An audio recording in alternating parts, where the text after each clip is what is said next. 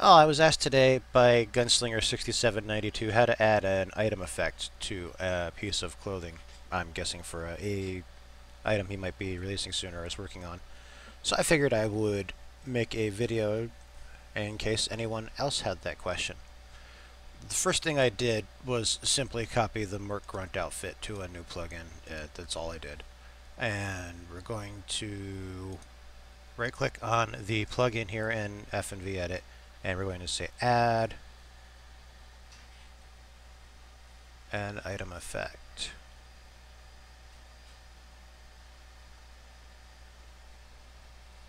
There it is, object effect enchantment as they call it. And since there aren't any currently existing, we're going to say add an object effect to it.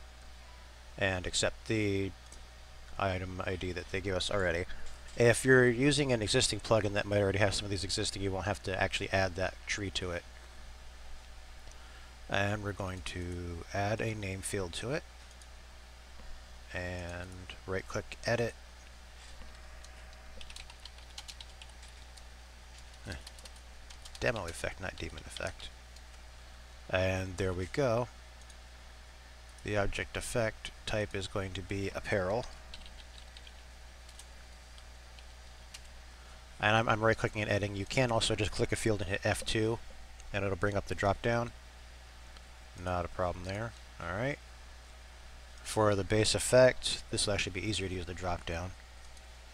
And we'll give it, say, a 10% bonus to gun skill or something. Increase skill,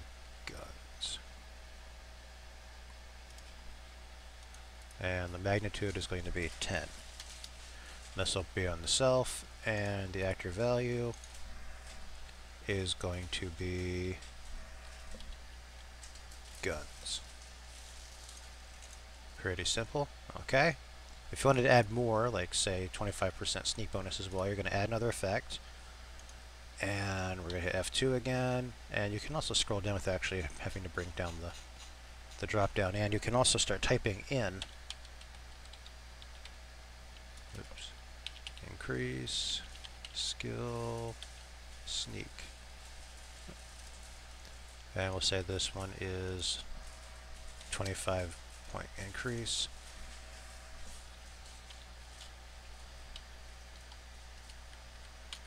And I'm just doing this to demonstrate. You can't just click enter on it. You actually have to